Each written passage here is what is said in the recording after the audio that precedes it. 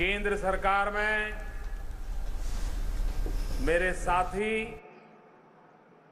और जिनके मार्गदर्शन में आज वडोदरा को आधुनिक एयरपोर्ट मिला है, ऐसे श्रीमान अशोक गजपति राजू जी, केंद्र में मेरे मंत्रिपरिषद के साथी और इस देश के दलित, पीड़ित, शोषित, वंचितों की चिंता करने वाले श्रीमान थावरचंद जी गहलोत, श्री रामदास आठवले, श्री कृष्णपाल जी गुजर, इसी धरती के संतान, आदिवासियों की सेवा में अपना जीवन खपाने वाले, केंद्र में मेरे मंत्रिपरिषद के साथी, श्री जसवंत सिंह जी भाभोर, मंत्री श्री विजय सांपला जी मंत्री श्री मनसुख भाई मांडविया, गुजरात के उप मुख्यमंत्री श्रीमान नितिन भाई पटेल, श्री रमण भाई, श्री आत्माराम भाई, श्री प्रदीप सिंह, श्री राजेंद्र त्रिवेदी, सांसद मनसुख भाई वसावा रंजनबेन भट्ट रामसिंह राठवा गुजरात प्रदेश भारतीय जनता पार्टी के युवा अध्यक्ष श्रीमान जीतूभाई वाघाणी, वडोदरा के मेयर श्री भरत भाई डांगर, विधायक श्री सतीश भाई बालकृष्ण भाई बहुत बड़ी लंबी सूची है, मैं सबके नाम नहीं बोल रहा हूँ। और विशाल संख्या में पधारे हुए प्यारे भाइयों और बहनों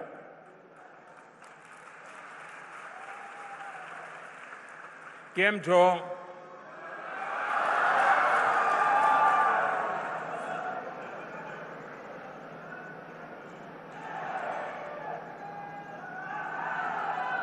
આજે વડોદરા એના ફૂલ મિજાજમાં છે.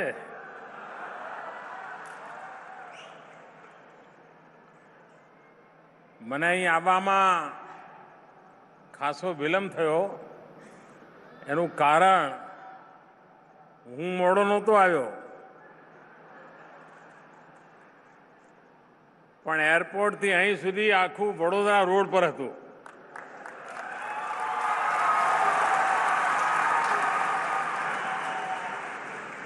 મારું સૌભાગ્ય હતું કે વડોદરાના નગરજનોના મને દર્શન કરવાનો અવસર મળ્યો અને વિશાળ સંખ્યામાં આપે પણ આવીને મને આશીર્વાદ આપ્યા.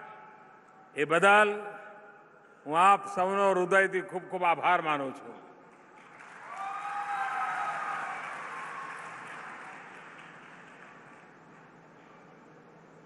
આજે વડોદરામાં સરકારના બે કાર્યક્રમોનો મને અવસર મળ્યો. એક તો વડોદરામાં અત્યંત આધુનિક એરપોર્ટનું લોકાર્પણ હતું. અને આ સામાન્ય એરપોર્ટ નથી. જે ટેકનોલોજીથી, જે સંસાધનોથી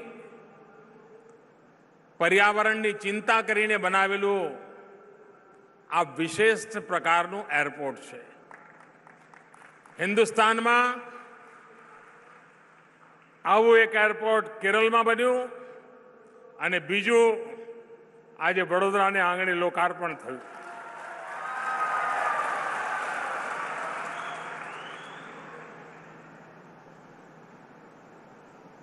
બીજો અત્યંત મહત્વનો કાર્યક્રમ અને મારી સામે પાંચ સાત કાર્યક્રમોના પ્રપોઝલ પડ્યા હોય, તો સ્વભાવ પ્રમાણે હું દિવ્યાંગના કાર્યક્રમને પહેલી પ્રાયોરિટી આપતો હોઉં છું.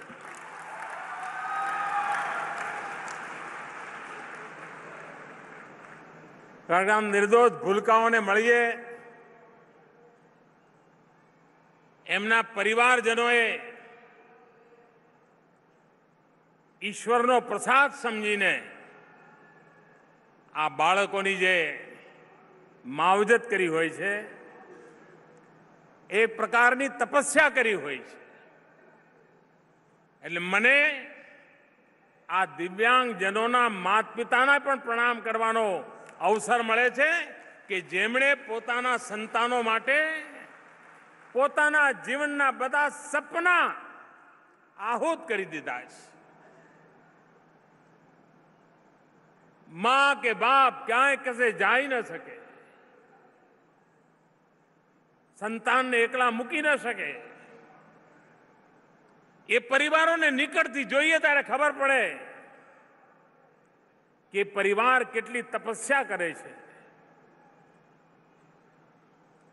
અને આ જ્યારે જોઈએ ત્યારે સમાજ તરીકે, સરકાર તરીકે આપણી જવાબદારી બને છે કે કુટુંબના આ કામમાં આપણે પણ મદદગાર થઈએ, એમની જવાબદારી થોડી આપણે પણ વહન કરીએ અને એ પવિત્ર ભાવથી આ દિવ્યાંગજનોની વચ્ચે મારી સરકાર આવતી હોય છે, હું આવતો હોઉં છું અને આ સેવા કરવાનો અવસર પ્રાપ્ત થતો હોય છે.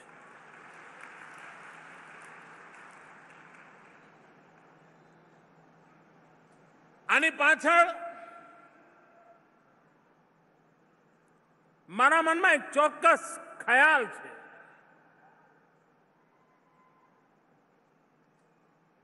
આ અવસર સહાયનો અવસર નથી. સાધન સહાયનો અવસર નથી. એ તો આનો એક નાનકડો અલ્પ ભાગ છે. પણ આ લાખોની મેદનીમાં અને આવા કાર્યક્રમોના દ્વારા સવાસો કરોડ દેશવાસીઓના મનમાં દિવ્યાંગજનો પ્રત્યે એક જવાબદારીનો અહેસાસ કરાવવો, જેના ઘરમાં દિવ્યાંગ વ્યક્તિ છે, માત્ર એની જવાબદારી નથી, આ સંપૂર્ણ સમાજની જવાબદારી છે. સંપૂર્ણ રાષ્ટ્રની જવાબદારી છે એ વાતાવરણ નિર્માણ કરવાનો મારો એક પ્રામાણિક પ્રયાસ છે. આ બાબતે એક દેશ તરીકે જાણે અજાણે આપણે ઉદાસીનતા સેવી છે. સરકારી ઇમારતો બની હોય પણ ત્યાં કોઈ દિવ્યાંગજનને આવવું હોય તો એના માટે પણ એ જ વ્યવસ્થા હોય જે હઠ્ઠા કઠ્ઠા મજબૂત માણસ માટે હોય. હવે આ કેવી રીતે જાય ત્યાં? આપણે એક સુગમ્ય યોજના બનાવી. સરકારી ઇમારતોને આગ્રહ કર્યો છે. રાતોરાત તો પૈસા આવેની વ્યવસ્થા ન થાય સમજી શકાય છે. પણ હવે મકાનો બને તો રેલવે પ્લેટફોર્મ બને તો બસ સ્ટેશન બને તો. એમાં એક વ્યવસ્થા એવી પણ હોવી જોઈએ કે જેના કારણે દિવ્યાંગજન આસાનીથી એ જગ્યાએ જઈ શકે. અને મારો અનુભવ કે છે કે લોકોને આમાં કોઈ વિરોધ નથી હોતો. કોઈ મુશ્કેલી નથી હોતી. એટલું જ કે સાહેબ, પહેલા કોઈ ધ્યાન નહોતું દોર્યું. સારું થયું, તમે ધ્યાન દોર્યું, અમે કરી દઈશું. હવે અમે એને રચના કરીશું. ધીરે ધીરે આપણે આ વાતાવરણ, શાળા હોય, કોલેજ હોય, અસ્પતાલ હોય, સરકારી દફતર હોય, સાર્વજનિક જગ્યા હોય, જે કઈ વ્યવસ્થા કરીએ, એમાં દિવ્યાંગજન માટેની વ્યવસ્થા પર આપણું ચિંતન હોવું જોઈએ. આર્કિટેક્ચર કોલેજને પણ ખબર હોવી જોઈએ કે એમના ત્યાંથી જે નવા આર્કિટેક્ચર તૈયાર થશે, એમની ડિઝાઇનિંગની અંદર આ વ્યવસ્થા હશે.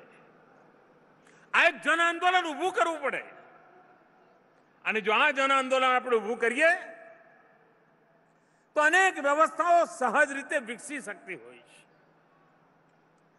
અને એક વાર દિવ્યાંગજન માટે સમાજ આમ જોતો થાય ને કોઈ દિવ્યાંગજન જતો હોય ને હઠ્ઠા કઠ્ઠા પાંચ જુવાને જરા બાજુમાં ઊભા રહી જાય, એને રસ્તો કરે, ત્યારે એ સન્માનનો ભાવ અનુભવતો હોય છે કે આ દેશ, આ સમાજ, આ મારા આસપાસના લોકો મારે માટે આટલા બધા જાગૃત છે.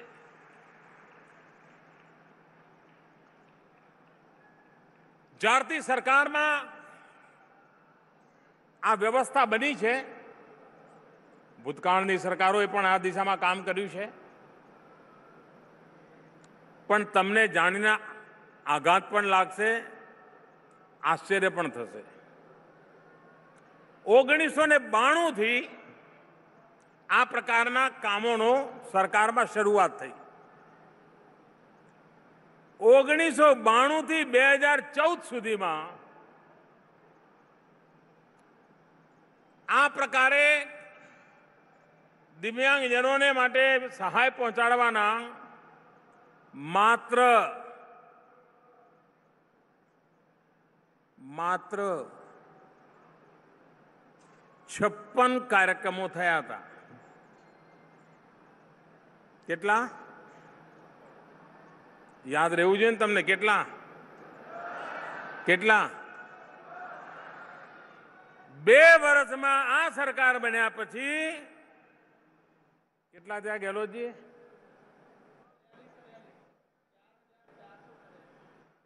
मुझे गहलोत जी बता रहे हैं साढ़े चार हजार ऐसे कार्यक्रम किए गए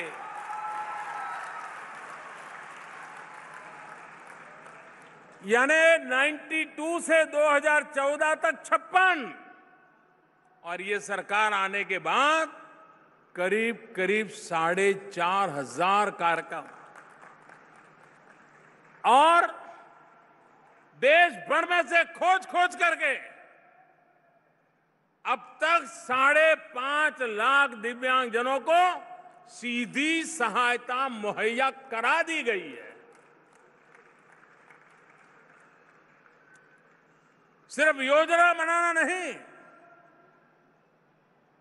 सरकार के सभी अंग उपांग संवेदनशील हो, योजनाएँ गरीब के घर, दलित के घर, शोषित के घर, पीड़ित के घर, वंचित के घर, उसके घर तक पहुँचे, इसके लिए भारत सरकार पूरी तरह आग्रही है, प्रयत्नशील है और परिणामकारी है।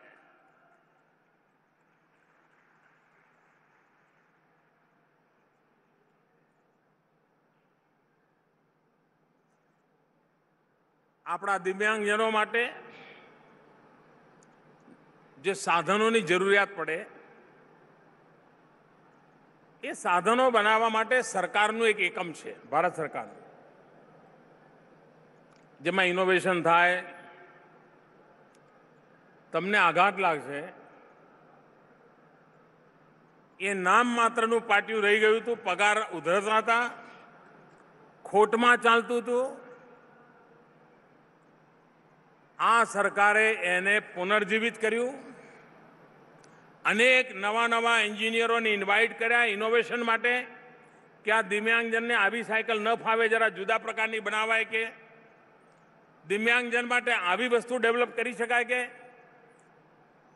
અને જે ખાડે ગયેલી સંસ્થા હતી, એમાં નવા નવા ઇનોવેશન થયા નવી નવી વસ્તુઓ બનવા માંડી.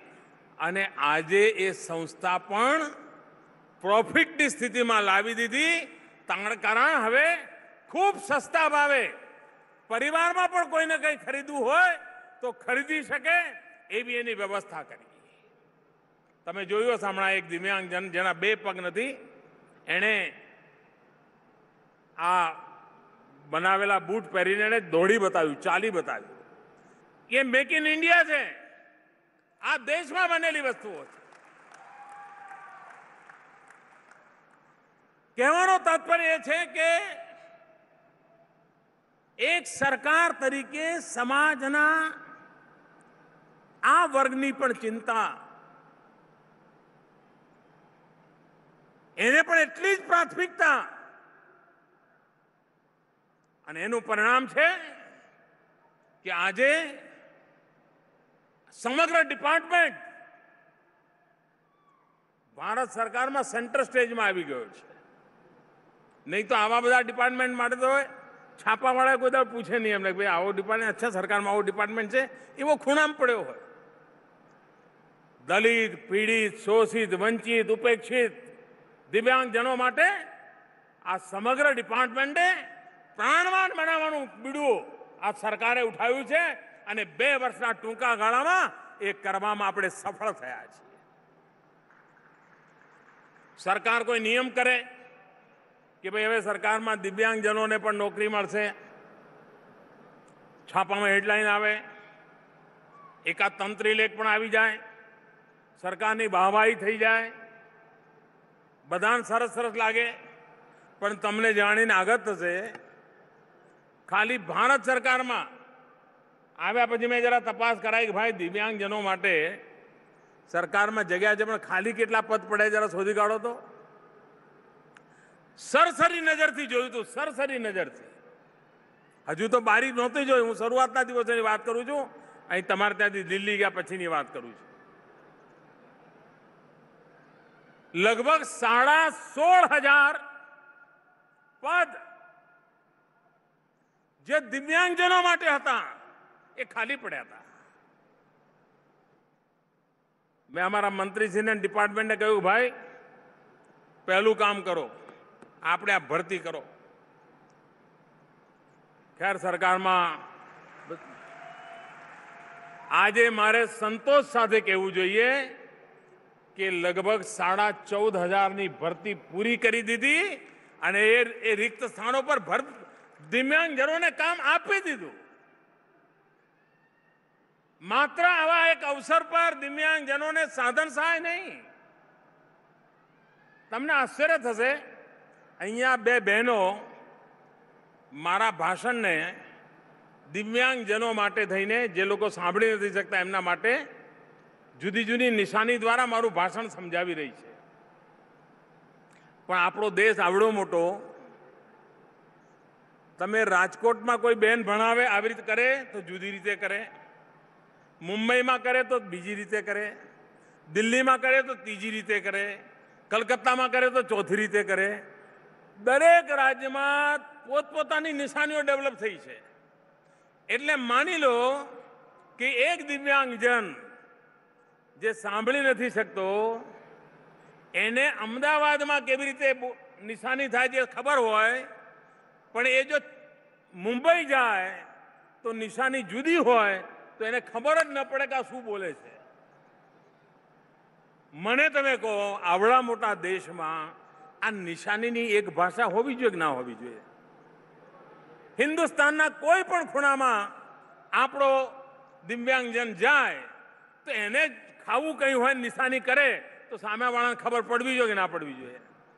માફ કરજો સાહેબ, આ દેશમાં આ કામ પણ નહોતું થયું. આ સરકારે આવીને સમગ્ર દેશમાં દિવ્યાંગજનોને નિશાનીની કોમન લેંગ્વેજ એનો કાયદો કરવાનું નક્કી કર્યું. એની ટ્રેનિંગ માટેની વ્યવસ્થા કરી. કોઈ એક વિષય પર જ્યારે ઊંડા ઉતરીએ, ત્યારે કેવી રીતે સમસ્યાઓના સમાધાન કરી શકતા હોય છે, એ આપણે જોયું છે. ભાઈઓ બહેનો, આજે પૂરા વિશ્વમાં એક વાતની ચારે તરફ વાહવાહી થઈ રહી છે. ચારે તરફ ગૌરવગાન થઈ રહ્યું છે. શેનું? શેનું? શેનું ગૌરવગાન થઈ રહ્યું છે? અરે મને સંભળાયું તો બોલો કે.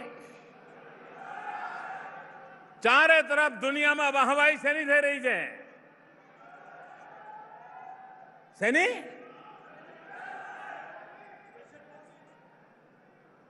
અરે પ્યારો સારી દુનિયા એમ કે છે કે આજે આર્થિક વિકાસની દુનિયામાં દુનિયાની જે મોટી મોટી ઇકોનોમી છે એમાં સૌથી તેજ ગતિથી આગળ વધતી કોઈ ઇકોનોમી હોય તો હિન્દુસ્તાનની છે દોસ્તો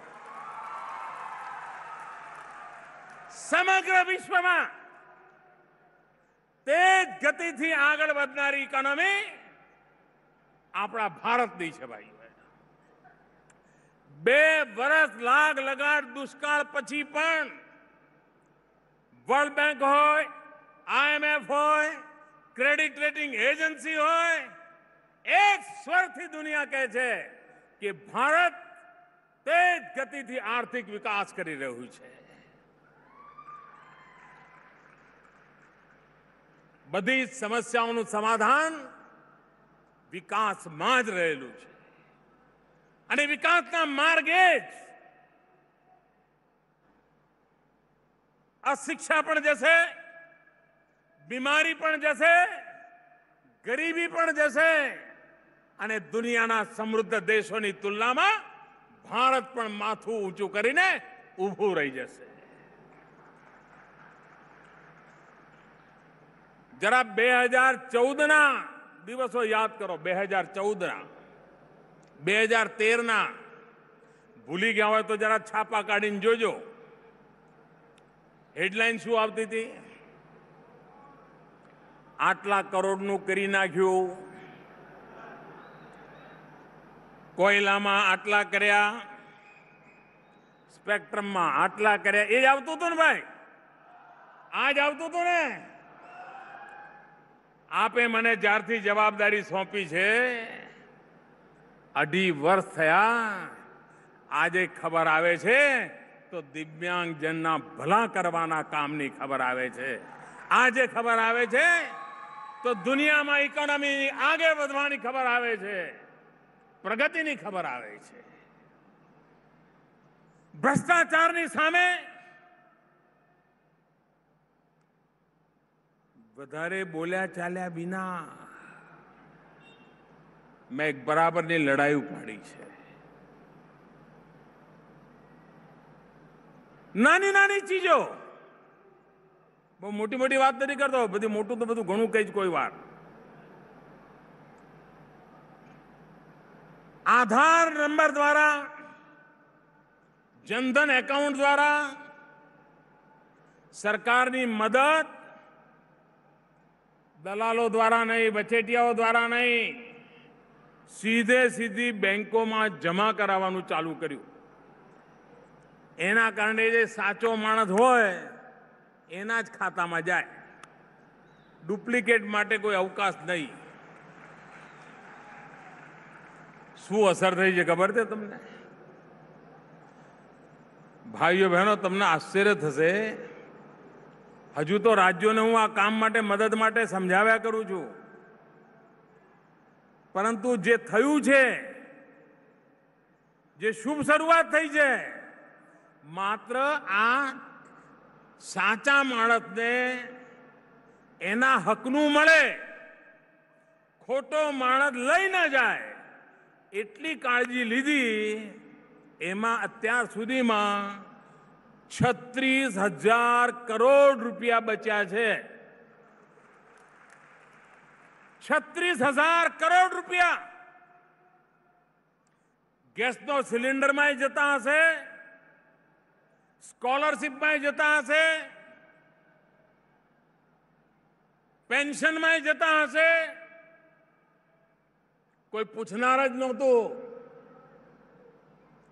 હમણાં ભારત સરકારે નાગરિકોને એક તક આપી. બે હશે પહેલાંની સરકાર એવી હતી, એટલે તમને કંઈ ભૂલો કરી હશે, કાળું ધોળું કંઈક કર્યું હશે.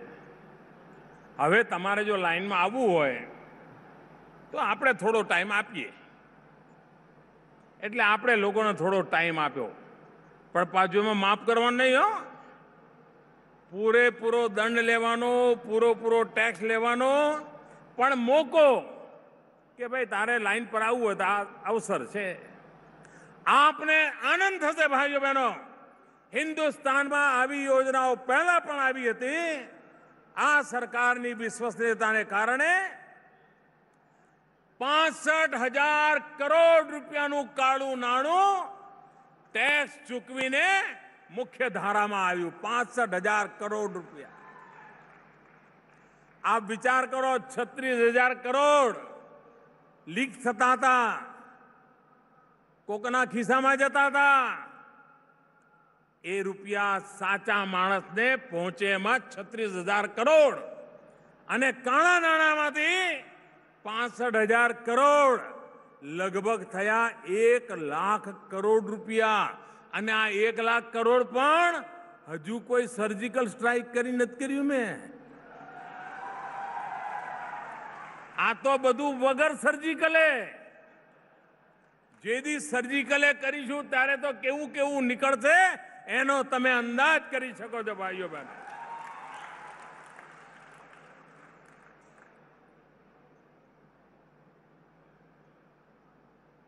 એક સાચી સરકાર હોય એક સારી સરકાર હોય, એક જનતા જનાર્દનના સુખને દુઃખને માટે સમર્પિત સરકાર હોય.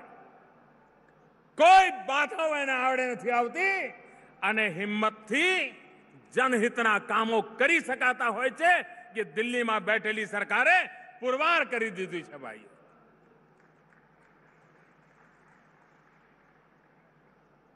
અને એનો લાભ હિન્દુસ્તાનના દરેક ખૂણામાં મળી રહ્યો છે. હમણાં હું ગરીબોને ગેસના સિલિન્ડર આપવામાં લાગ્યો છું.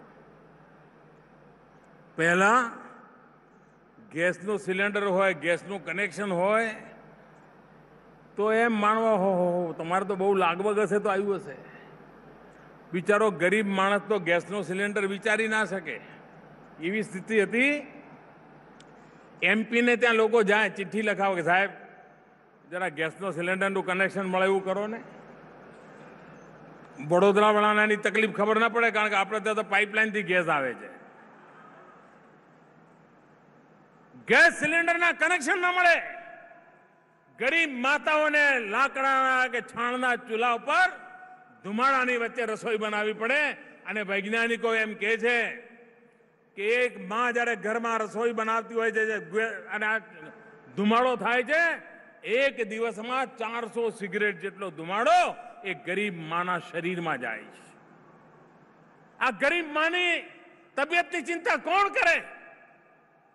દિલ્હીમાં બેઠેલી આ સરકારે નક્કી કર્યું, પાંચ કરોડ કુટુંબો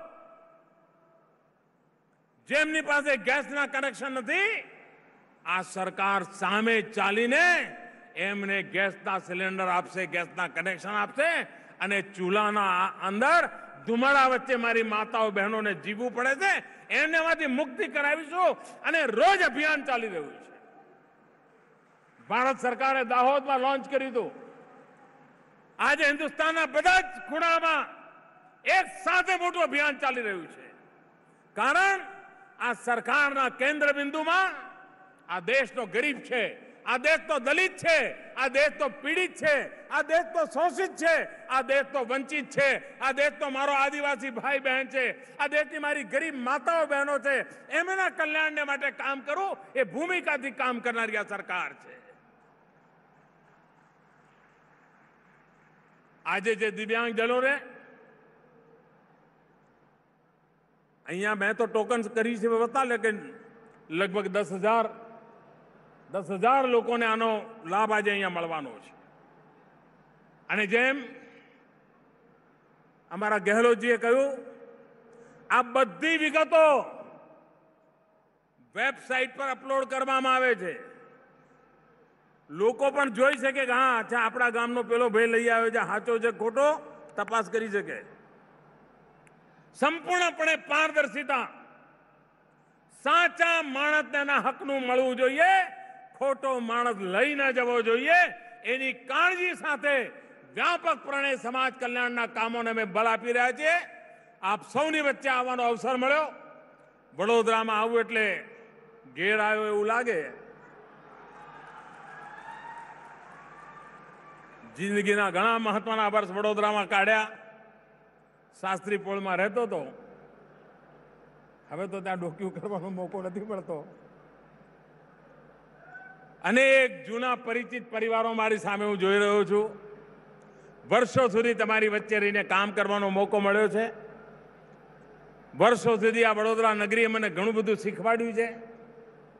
અને બધું જ ભાથું મને આજે દેશની સેવા માટે કામ આવી રહ્યું છે. હું આ શહેરનો ઋણી છું, આ રાજ્યનો ઋણી છું.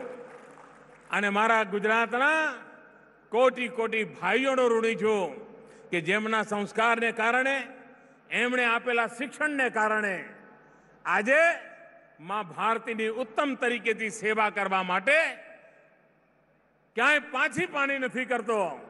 અને કામ કરવામાં આ સંસ્કાર મને એક મોટી અમાનત રૂપે આવી રહ્યા છે, એક શક્તિ રૂપે આવી રહ્યા છે.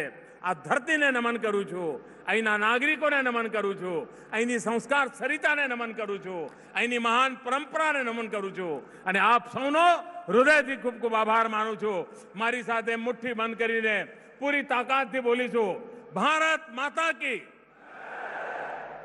અરે, અવાજ પહોંચે એવું કરો ને બધે. ભારત માતા કી. ભારત માતા કી.